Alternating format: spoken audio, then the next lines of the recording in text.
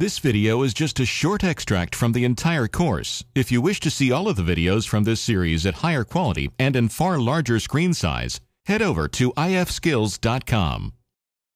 Okay, let's see what other trouble we can get into here. We're going to pick this image right here and go into develop. Now the colors it has on it correspond to the colors in this other option here, HSL color black and white. That's what we're going to look at. Let's go ahead and open that up. And notice we have hue, saturation, luminance or all. And the colors are red, orange, yellow, green, aqua blue, purple, and magenta, which is why I have those colors over there. Using this option, we have the ability to very, very scalpel-like control the colors in an image. So this is a good way to get an idea of what's going on here.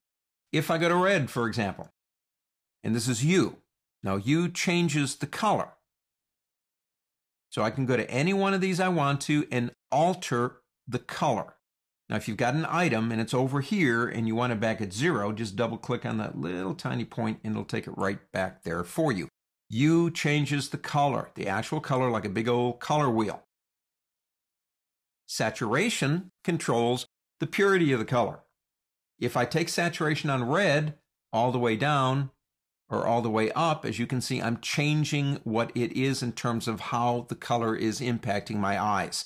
If I take the saturation, say, on blue down to nothing, eh, basically I'm getting something close to a shade of gray. If I go this way, it's more intense. That's what saturation does.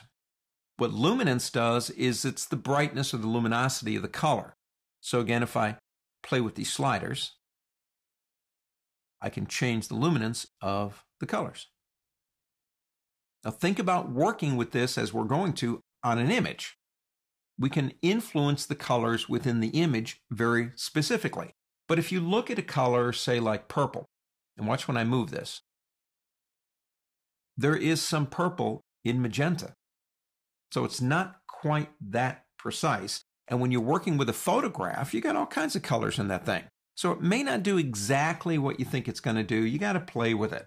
So we've got hue, saturation, and luminance. You can click the all button up here if you want to see all three at the same time. What's this little button right here for? That button allows me to go into the image and change the color based on where I click and drag. So if I come in and click that button and go over to say yellow, watch the yellow slider. But notice there is just a shade, just a hair of green in there too, because you can see that green one moving just a little bit. So that's not a pure wavelength yellow. It's pretty close, but not pure. No cigar, as they say. So that button right here controls whichever one you're working on, the saturation now of that color, the hue of that color, or the luminance of that color. Now we've got changes in our hue, saturation, and luminance. If I click reset, it'll work. Everything will go back to normal. But what if I've done other things again? What if I've done color correction? What if I've done, oh, cloning or healing? Everything's going to go back to normal. What do you do? Well, you could do this. If you hold down the Alt key on the word luminescence, it says reset luminescence. Same thing with saturation. And the same thing with hue. So if you want to take them back, you can. Now let's get off this one. Let's go back to library for a second and pick up a different image. Let's go into this one right here. Mr. Grasshopper. Now going into the same values, there is a lot of green in this image. So I could go, say, for example, into hue and change maybe the colors of the green. Or I could use this button right here and go into the image and choose what area I want to change and then begin changing just in, as you can see, just that one very specific area. I can come over here and do the same thing. Again, I'm changing hue.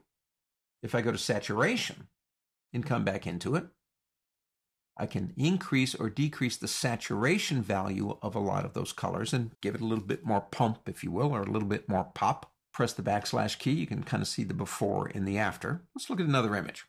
Let's go into, what do we got? Let's go into this one right here.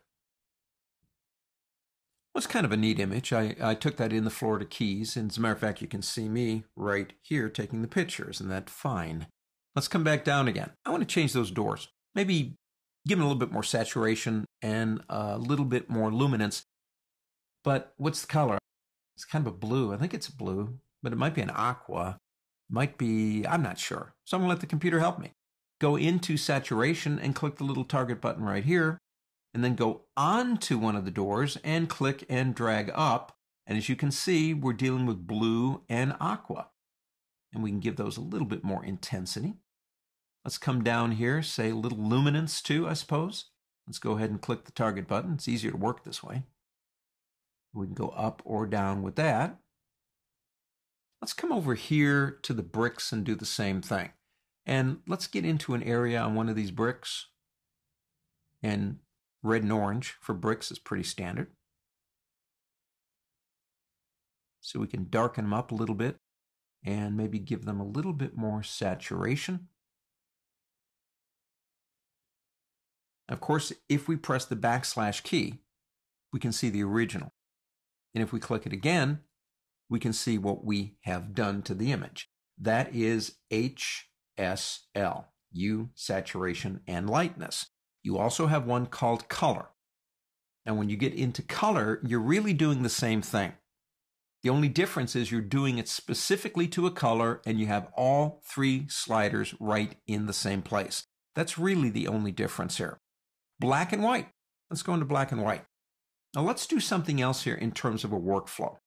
When you change an image to black and white, you're telling the computer to equalize all the color channels and give you a grayscale image. That's fine but we could probably improve on what the computer thinks is a grayscale image. So let's do this though.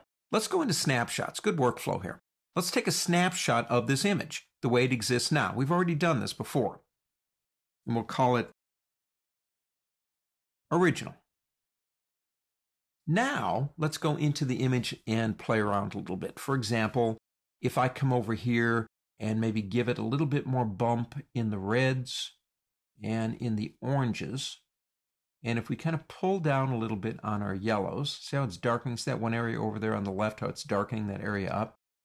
Of course, we got greens. You can take these both ways to see what's going to happen. What I like to do here is experiment around just like this. In blue, we know the doors are blue, so we can give them a little bit more of a contrast. Purple, not much in the purple area. And magenta, Probably not there either because purple and magenta are very close to each other. So we've changed the image some, not a lot, but we've changed it some using black and white mix. If we come over, take another snapshot of this one, call it grayscale. I'm not a big fan of the word black and white, although I know we all use it. That's not a black and white image. That's a grayscale image. Black and white technically are images that are black and white. Since that has shades of gray in it, I prefer to call it a grayscale image. But we can do this now with our snapshots. There's the original, and here's the one that we just did. We've added a little bit of pop to it, that's all. So hue, saturation, and lightness, color, and black and white are three more controls in Develop that allow us to change our images into the vision we had for it. On to the next.